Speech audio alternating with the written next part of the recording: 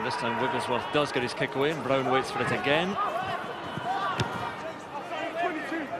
And uh, Schalk Brits watches that one head out on the full back they come. Saracens now with an onslaught and good chips forward and looking to chase there is Ashton. And the ball's still loose and it might be a try. No, Edinburgh get back there and, uh, well, a bit of a no, trip, Ashton says. Information that changed Stop the clock on at uh, scrum half for Saracens.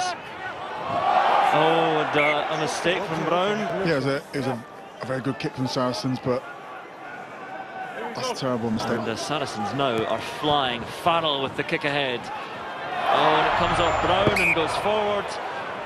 It all works for Saracens, all goes wrong for, uh, for Tom Brown, for Edinburgh.